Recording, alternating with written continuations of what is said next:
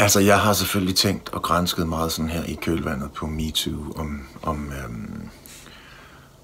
om, om jeg nu har oplevet et eller andet lignende. Og, og, altså, og de ting, jeg har været ude for, er ikke på nogen måde alvorlige, som, som det, der chokerer folk i øjeblikket i omkring MeToo. Men der er alligevel to situationer, som jeg kommer til at tænke på. Den første er, da jeg er omkring 20 år gammel, øhm, og jeg er, sådan, jeg, jeg er bartender til et privat arrangement, og så er der den her kvinde på omkring 50, som ligesom gør tilnærmelser og, mm,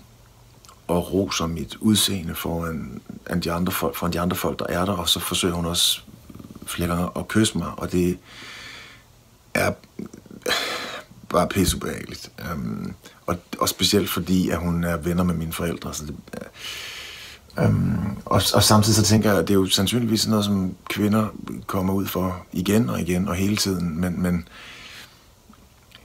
ja, jeg synes i hvert fald ikke, det var fedt. Den, den anden situation er så, så øhm,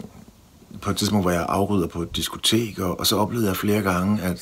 så kommer jeg ligesom der med hænderne fulde, af, af, altså en bakke fuld af ølflasker eller et eller andet, og så skal jeg sådan hen over dansegulvet, og så er der ligesom kvinder, der sådan stiller sig op af mig, eller forsøger at rave på mig, og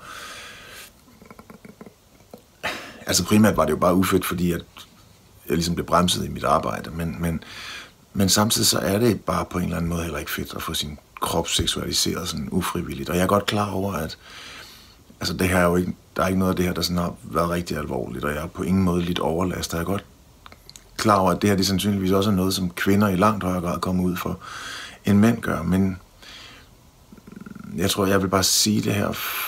bare som, altså min historie kan måske bruges som sådan en slags bekræftelse på, at, at for mænd er, er grænseoverskridende adfærd heller ikke fedt.